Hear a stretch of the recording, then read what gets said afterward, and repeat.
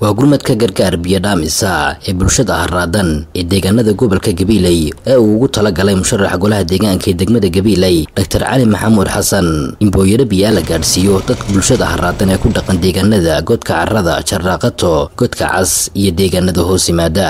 Musharaxa ayaa ka jawaabayey baaqida bulshada ee qayladhaanta biyo la'aanta ee deegaanadaasi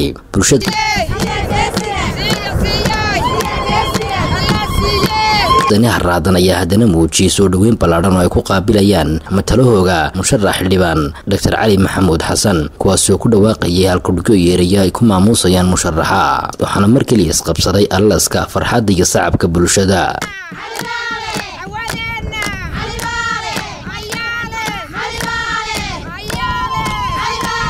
Bulshada oo warbaahinta la hadasha ayaa ugu horreyn uga mahadnaqday xildhibaanka qayb tobankani booyleed oo uu soo gaadhsiiyey deegaanadaasi saacad muuse saafiyaye yufooteeya waa fariidkii barakaatu bismillaahi raxmaan raxiim halkan marka hore waxaan ka salaamayaa musharax cali maxamed xasan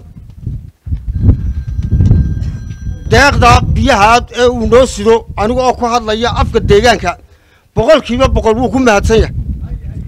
Annaguna boqolkiiba boqol codka yaga waanu la barbar taagannahay had iyo gooraale wax allaale wixii musharax ayagu ku soo baxayo waan hiiliyaho waanu la barbar taagannahay doctor cali haddaan doorano inaad u daarajayno. Xilka loogu deeqana waan dallaacannay danyartaya maatida ninkaa daadashaa tahaye. Danta qaranka iyo beelaha waa doojin karasaye cali maxamed xasan waxaa weeye nin aqoonaya mihnaad caafimaad leh. Waa nin muxsina waa nin tabarrucaad badan dhulka ku lahaa. Dugsigan maanta aan joogno m c h ka idhanka iyo wax kastoo waxqabado oo bulshada wax loogu qabanayo mar kastaba barbarkiisu taagnaa maanta ma aha booyad biyaa nin intuu inoogu yimid igu doortaynile waa nin aad ogtihiin waxa uu qaban jiray iyo waxa uu bulshada ku leeyahay oo uu hore ugu qabtay. Qof kasta oo caafimaad uu wax ka tarayo iyo qof kasta oo tabaalaysan nin muxsina oo tabarrucaad badan dadka ku le weeye nin laydiin sheegi doono ma aha waxa uu yahay waxa uu galo iyo waxa uu gudo waad garanaysaan. Maanta waxaa markaa idinku waajiba wax kasta oo uu hiigsanayo inaad barbarkiisa istaagtaan. Caliyow masiibada adduun mawla kaa qabay madhinka lacageed ilaah midigtaa kaasi maslaxada dadkaagana ilaah malabkaa ku shari. Insha allah iyo ducaan miiska ku dhigaa waan duceeye rabbow dayniga aqbalo lohow cali taniyohow tirka kuwadkee lohow doraashada iyo idinsii dawga maxamed maray. Anna garaabaan idin siiyee guusha allow idinsaa cali maxamed xasan iyo maxamuud aare annagoo labadaba si ubcaan oo dadnimo leh ku soo dhoweyna annagoo ku dooranna dadnimo ee aan ku dooranayn. Si kale markaa waxaan leeyahay boqolkiiba boqol bulshaduna ha u dadaasho. Annaga iyo wafdigu hogaaminayo musharax cali maxamed xasan. Runtii xalkan waxaa ka jirta xaalad biyola'aaneed waxaan xalkan dadka soo gaadhsiinay deeq biyaah wakhti kulul baa lagu jiraa. Bilihii rabadaanadii barakaysneed ayaa inoo soo socota waxaan haddaba xalkan leeyahay musharaxani wuxuu go'aansaday inuu dadkiisa la dareen noqdo. Calimaata horena dhakhtar buu idinku ahaayo wuu idin daweynayo wixii ilaahay idinka qoray waad ka haysaan. Maantana wakaa biyihii idiin shubay. Raxmaadka allena ilaahay haynoo shubo.